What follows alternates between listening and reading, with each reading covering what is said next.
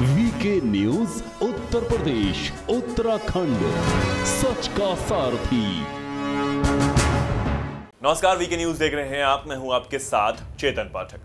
कर्नाटक से शुरू हुए हिजाब विवाद की आग अब पूरे देश में देखी जा रही है। रोज़ाना देश के अलग अलग कोने से हिजाब विवाद पर खबरें सामने आती हैं। कहीं प्रदर्शन देखा जा रहा है तो कहीं शिक्षा संस्थानों में सभी धार्मिक वस्त्र पहनकर रोक जाने से छात्र नाराज़ हैं और सड़क पर उतर आए हैं। अब कुछ दिन पहले उत्तर प्रदेश के अलीगढ़ से भी कुछ तस्वीरें सामने आई थीं, जहाँ भगवाधारी संगठनों ने हिजाब का विरोध करते हुए बीच सड़क पर ही हिजाब को जला दिया था।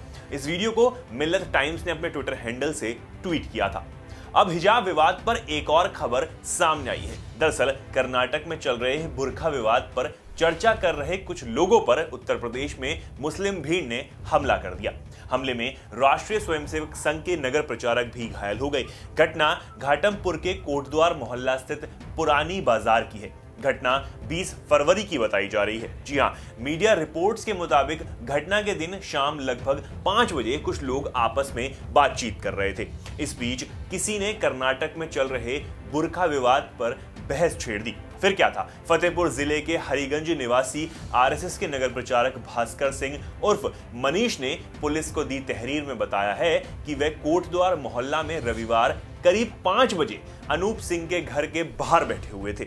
चुनाव व अन्य विषयों पर चर्चा चल रही थी। इसी बीच अबरार अहमद व छोटे उर्फ़ आमिर हसन, समीर कैंडा, शाहबुद्दीन 20 से 22 लोगों के साथ आए और विवाद शुरू कर दिया।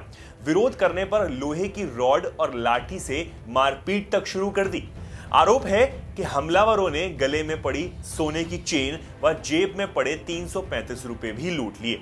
बचने के लिए वे एक दुकान में घुसे तो आरोपितों ने वहाँ भी घुसकर तोड़फोड़ कर मारपीट शुरू कर दी। इससे उनका सिर फट गया और कंधे में चोट आई है। वहीं मारपीट में यशराज भी घायल हुए हैं। इस मामले में यशराज सिंह ने भी तहरीर दी है। उन्होंने गुड्डूलाल बहना, छोटे जुल्फकार कासिम, सद्दाम, कमल हसन, शाहिद आदि पर घर में घुसकर मारपीट करने का आरोप लगाया है। तनाव को देखते हुए पुरानी बाज़ार मोहल्ले में भारी पुलिस बल तैनात किया गया है। सूचना पर पुलिस पहुँची, पुलिस पीड़ितों को लेकर थाने आई और तहरीर ली। साथ ही पुलिस ने बताया कि वहाँ तहरीर लेकर आधार पर उनकी रिपोर्ट दर्ज कराई गई है और आगे की कार्रवाई की जा रही है। इस खबर में इतना ही। देश दुनिया की तमाम खबरों को जानने के लिए देखते रहिए वीके न्यूज़। ये है ड्रीम मीडिया नेटवर्क